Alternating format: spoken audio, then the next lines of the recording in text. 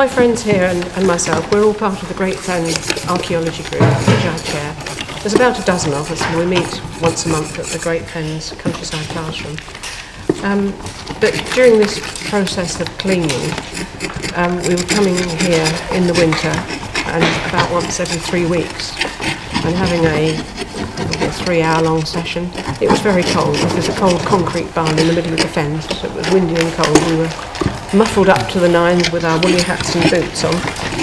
Um, we had three or four sessions across the winter from December through to about February on the initial bag full of bits.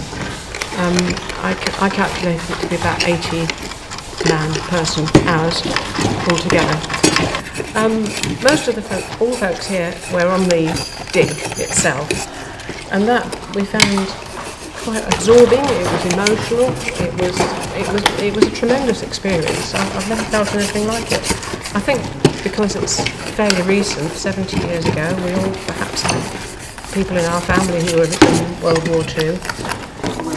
It's, well, it's interesting. It's history, isn't it? You know, and it's, um, putting all these bits together at some point, or as many as we can, gives you a better idea of um, what it was like as an actual aircraft, and to preserve it really for history. As I say, it's it's very interesting. Might not know what all the bits are, but it's nice to see it coming up and uh, cleaning up and um, knowing that it belonged to something real and that was um, an historical piece.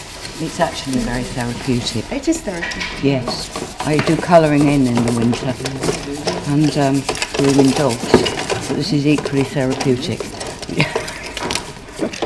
you get into the zone, don't you? you know, you would think out of a bag of bits you're just dealing with metal, but you're not. You're dealing with um, instrumentation.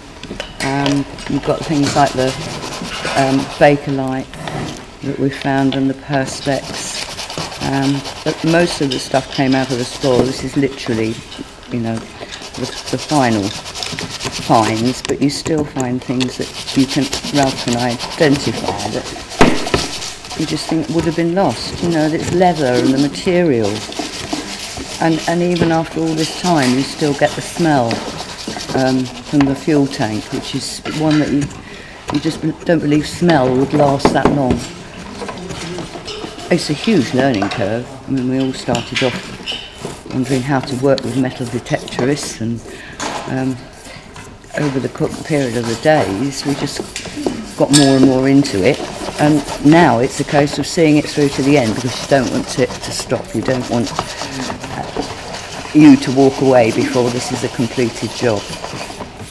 And you get nice things like it all comes up a bit shiny and you see the paint on it and you, you go, I've got a bit with a bit of green on and oh, fabulous. Really couldn't say how many pieces we should have worked on by the time we finished, but um, I know the builders' bags that we've been storing this stuff in hold an awful lot, and we've had three builders' bags full of full of pieces, besides the pieces which have gone away to um, RAF Wicklow to go in the Pathfinder Museum. So there's been a, a huge number of bits.